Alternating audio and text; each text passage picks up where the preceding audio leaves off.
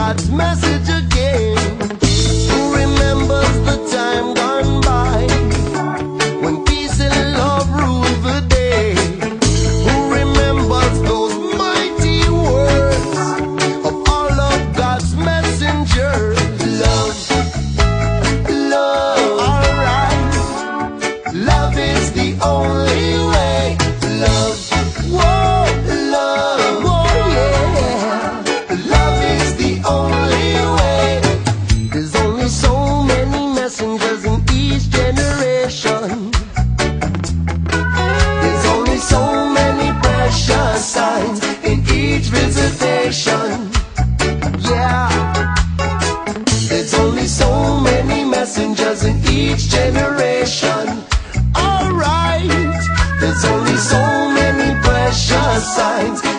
Each visitation.